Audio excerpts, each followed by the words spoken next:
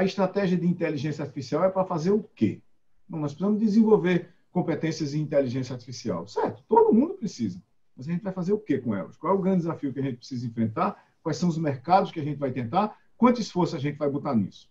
Isso tem que ser posto no cenário dos investimentos que os outros estão fazendo. Não é? A Tencent, que por acaso é a dona de WeChat, que é um aplicativo de comunicação, para quem não sabe, do tamanho ou maior do que o WhatsApp, no meu ponto de vista, é muito maior, porque tem um sistema de pagamentos e de, basicamente, tem uma internet lá dentro há vários anos já. A Tencent acabou de anunciar que nos próximos cinco anos ela vai investir em nuvem, inteligência artificial, internet das coisas, edge computing, name it, eles vão botar dinheiro lá, 70 bilhões de dólares. Isso é uma empresa chinesa. Tudo bem que é uma empresa gigantesca, é o segundo lugar comparado com a Alibaba, é, e vai botar 70 bi de dólares. Isso é o equivalente a 400 bilhões de dólares, 400 bilhões de reais, desculpe. Isso é o equivalente a 400 bi de reais em cinco anos, 80 bilhões por ano. Vamos imaginar que 10% desse, desse recurso vai para coisas relacionadas com inteligência artificial. Então, e vamos reduzir para um número ainda mais baixo. Vamos imaginar que eles vão botar 2 bilhões de dólares por ano, de, de reais por ano em inteligência artificial. A gente vai botar quanto mesmo?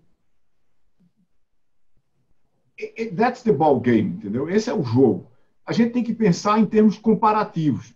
Nós vamos ter uma estratégia, certo? A gente vai investir o quê? Porque uma estratégia é o seguinte: eu estou lá no conselho da CAPES, que é o, a instituição do MEC que cuida da pós-graduação no Brasil. Vamos ter uma estratégia para a inteligência artificial no Brasil.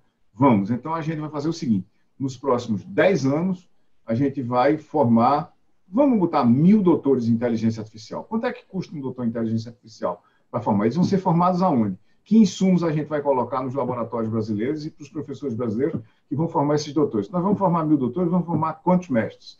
Como é que a gente vai ensinar machine learning, deep learning? Como é que a gente vai ensinar AI simbólica, fundamentos muito mais profundos de lógica do que a gente ensina hoje?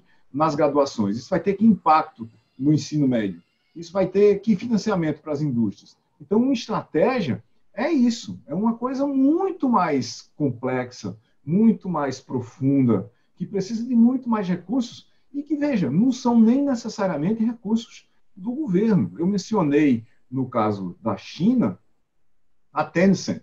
Ela é uma das empresas chinesas é, investindo nisso, tá certo? Mas tem lá dezenas de outras, inclusive a Huawei, que está aqui no nosso mercado agora, a Alibaba, que vende muito para o Brasil, e assim por diante.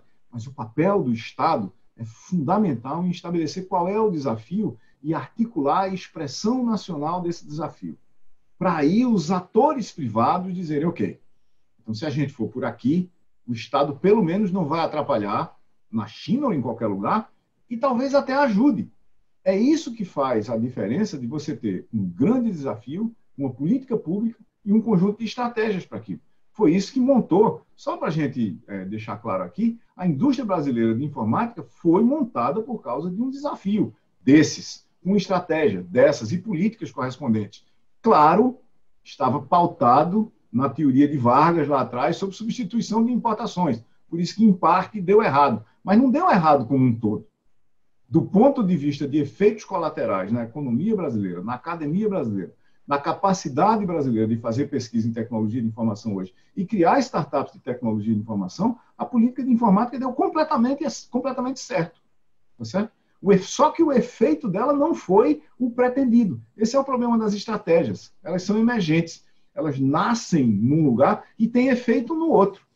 A gente nunca teve um smartphone brasileiro, nem um computador brasileiro físico, que era competitivo globalmente.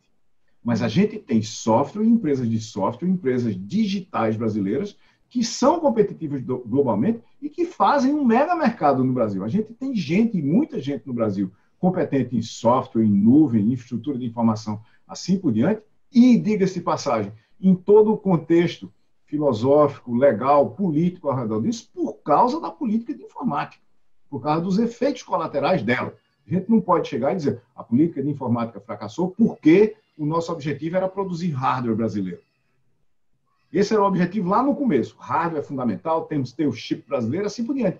Mas descobrimos no meio do caminho que a escadaria de produzir chips, de produzir computadores, de produzir sistemas de átomos, era bilhões, centenas de bilhões de dólares mais alta do que os recursos que o Brasil podia juntar.